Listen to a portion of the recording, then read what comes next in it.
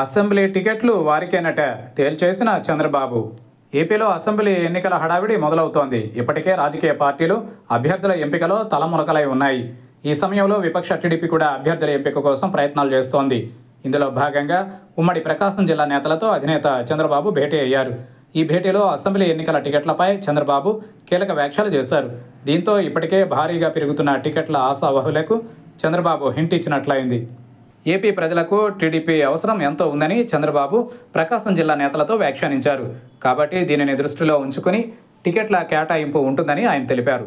ముఖ్యంగా గెలుపు గురాలకే టికెట్లు కేటాయిస్తామని నిర్మోహమాటంగా చంద్రబాబు నేతలకు తేల్చి చెప్పేశారు.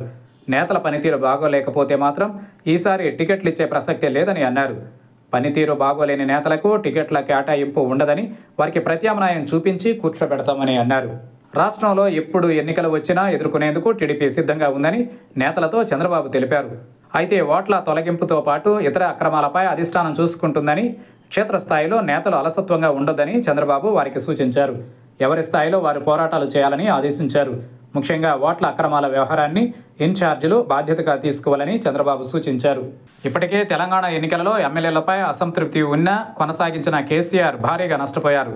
దీంతో ఇప్పుడు ఏపీలోనూ వైసీపీ టీడీపీ పనితీరు బాగోలేని ప్రజాదరణ లేని ఎమ్మెల్యేలను పక్కన పెట్టేయాలనే ఆలోచనలు ఉన్నాయి. ఈ నేపథ్యంలో చంద్రబాబు టీడీపీ నేతలకు ఇచ్చిన హింట్పై చర్చ జరుగుతోంది.